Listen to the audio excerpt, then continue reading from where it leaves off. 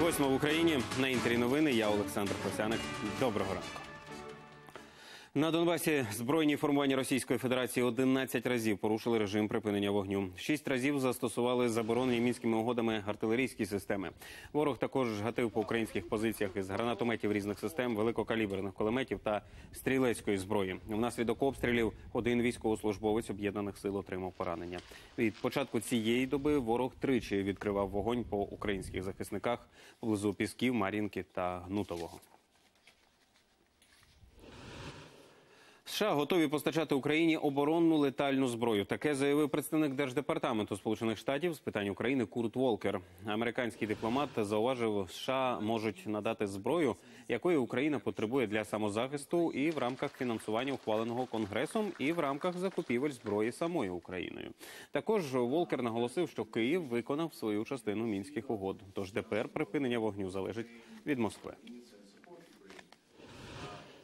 День миротворця ООН відзначають сьогодні у світі. Українські військові вже 27 років беруть участь у місіях по всій планеті. За цей час 55 із них загинули під час виконання завдань. Наші армійці гідно конкурують із військовиками найсильніших армій світу. Про це свідчить запит на участь українців у місіях з регулювання військових конфліктів. Цього року на запрошення секретаріату ООН ухвалено збільшити чисельність наших миротворців і відрядити їх до складу місії ООН у Малі. Побільше серед блакитних шоломів і українських жінок військових. Близько 45 тисяч військовослужбовців взяли участь більш ніж у 27 міжнародних операціях. Українські миротворці виконували завдання в країнах колишньої Югославії, на африканському континенті, в країнах Близького і Середнього Сходу. Станом на сьогодні 347 військовослужбовців Збройних сил України беруть участь у восьми міжнародних операціях з підтримання миру і безпеки під проводом ООН, НАТО та у складі миротворчих сил. Унікальний музей землякам, які загинули на Донбасі, облаштовують мешканці села Слобідка Новгород-Сіверського району на Чернігівщині. Вони самотужки роблять ремонт і збирають пам'ятні речі. Музеї розташують у хаті, яка і сама є експонатом. Катерина Сривкова все бачила. Під музей слобідчани обрали ось цю хату. Це колишня домівка їхнього односельця, який загинув на сході країни три роки тому. Ігоря Медведя. До цього хата стояла покинута. Хата простояла пусткою більше 15 років, та за два тижні зусиллями кількох ентузіастів тут вже майже навели лад. Тут стільки сміття, воно захаращене було, вікна повбивати. Страшне. Тут е, ми із чоловіком видискли склив і грубо перераблював, а ми з дівчатами витягали хлам, усе вивозили трактором. Думали, щоб пам'ять про нашого земляка тут була. Хвати, бо я буду плакати. Для односельців Ігор Медвідь герой. Він народився і виріс саме тут, у Слобідці. Коли почалася війна, добровольцем пішов на фронт. Служив у Турецьку, що на Донеччині, але повернутися йому не судилося. Віталій Олексійович, давній друг загиблого, першим отримав трагічну звістку. патрулюючи железну дорогу, там об- обороняли. Відповідно, почався мінометний обстріл, і, як говориться, хоч він був озброєний і бронежилет, а так сталося, що осколок міни попав і перерізав як, як е, агорту, і моментальна смерть, так Ігор наш загинув. Наразі слобідчани ще приводять будинок музей до ладу. На жаль, сюди поки ми не можемо пройти, бо тут два дні назад було пофарбоване, фарба ще не ви- ну, не висохла. Виставлятимуть сімейні та військові фото, а також особисті речі, які вдалося зберегти. Це батьки Ігоря. Це шкільна його фотографія. Цю фотографію ми знайшли тут у будинку. Тут оце першу кімнату ми плануємо показати побут, як жила сім'я і Ігор. А другу кімнату там ми вже плануємо іменно зробити музей. Ну, воєнний музей. М, експонати нам надасть військомат. військкомат. Музей відкриють 5 червня на роковини смерті Ігоря Медведя. А згодом планують розширити експозицію, щоб берегти пам'ять про усіх полеглих воїнів із Новгород-Сіверського району, які поклали життя за Україну. Катерина Сирокова, Павло Лисенко. Новини телеканал Інтер. Євросоюз готовий надати Україні півмільярда євро. Щойно будуть виконані всі необхідні вимоги. У цьому запевнив представник Єврокомісії Крістіан Даніельсон. І додав, з боку ЄС затримки з другим траншем немає. Питання тільки в готовності України виконати всі зобов'язання за договором із Європейським Союзом щодо макрофінансування. Зокрема, ухвалити закон про протидію відмиванню грошей і план реформування митної податкової адміністрації, а також забезпечити ефективну систему перевірки електронних декларацій. У Луцьку активісти креативно борються з ямами на автошляхах. На місці вибоїн облаштували клумби. Квітковими композиціями залатали дороги із найбільш інтенсивним рухом у місті. У такий спосіб кажуть, хочуть привернути увагу влади до жахливого стану шляхів в обласному центрі. Фіалки, маргаритки і незабудки виросли у дорожніх вибоїнах в Луцьку.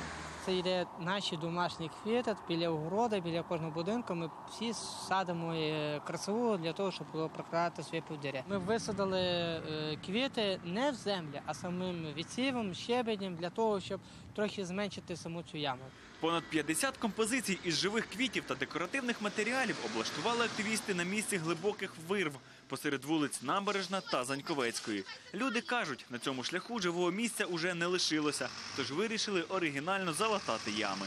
Вже в нас на носі літо, а після зими ви бачите, які ями у нас лишилися на такій центральній одній з магістралів, де об'їжджають центр. Це набережна вулиця. Яма на ямі тут уже кілька років. На вщент розбитій дорозі ледве розминаються автомобілі. Рух набережною насичений, курсують автобуси, вантажівки та легковики.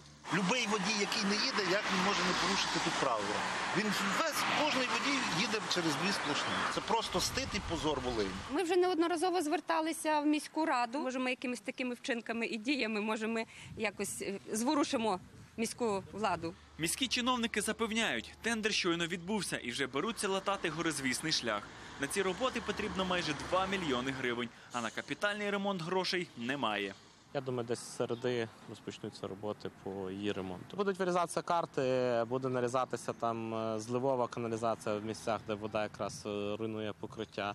Е, Плюс на ділянці буде влаштовуватися тонкошар. Активісти з нетерпінням чекають на ремонт, запевняють, халтурити не дадуть. Ми будемо самі контролювати, чи дійсно знімаються всі шари, чи дійсно це все робиться, як має бути правильно, а не так, що 20 мільйонів там чи 30 виділили, а насправді вколотали в землю тільки 10-15 мільйонів. Краса у ямах протрималася недовго. Одні квіти зів'яли, інші знищили неуважні водії. Та якщо ремонту не буде, активісти обіцяють засадити квітами усі проблемні ділянки. Артем Антоненко, Сніжана Сидорук, Микола Василюк, телеканал Інтер, Волинська область. Канцлерка Німеччини Ангела Меркель може залишитися на посаді аж до закінчення терміну у 2021 році. За даними інформаційного агентства Bloomberg, змінити своє рішення канцлерку змусили не надто високі результати її партії на виборах до Європарламенту та зниження популярності її протеже Анегрет Крамп Каренбауер.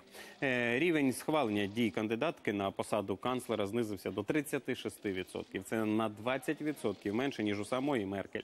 Негативну реакцію також викликали прагнення Крамп Каренбауер якнайшвидше усунути нинішню очільницю з посади. Себастьян Курц прагне знову стати канцлером Австрії. Про це він розповів в інтерв'ю газеті Кроненцайтунг. Політик сподівається перемогти на дострокових виборах до Національної ради у вересні. Курц додав, що не шкодує про жодні попередні рішення. Нагадаю, нижня палата парламенту Австрії оголосила вотум недовіри його кабінету міністрів через урядову кризу на тлі відставки колишнього віце-канцлера Ганса Крістіана Штрахи. У Польщі зоозахисники намагаються врятувати від смерті стадо бездоглядних корів. Влада має намір відрядити 180 тварин на різницю, бо вони можуть виявитися небезпечними для домашньої худоби в навколишніх обійстях. Міністр сільського господарства країни вже виділив на усипляння 350 тисяч злотих. Корів буквально просто неба залишив колишній господар.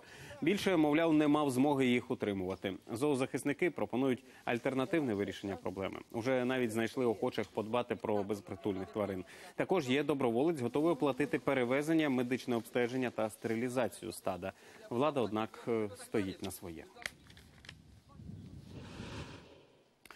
Берлінський зоопарк показав відео з дитинчам американського дикобраза. На кадрах двомісячне маля досліджує вольєр разом із чотирирічною матір'ю Анні та семирічним батьком Оскаром. Стать малюка доглядачам визначити поки що не вдалося, тому і імені у нього ще немає. Дикобрази народжуються із м'яким хутром, яке вже приблизно за годину перетворюється на колючки. Тіло тварини цього виду вкривають близько 30 тисяч голок до 7,5 сантиметрів завдовжки. У дикій природі вони захищають дикобразів від пум, риси і орлів. Наразі це все. Більше новин буде о 9 Тоді побачимося. До зустрічі.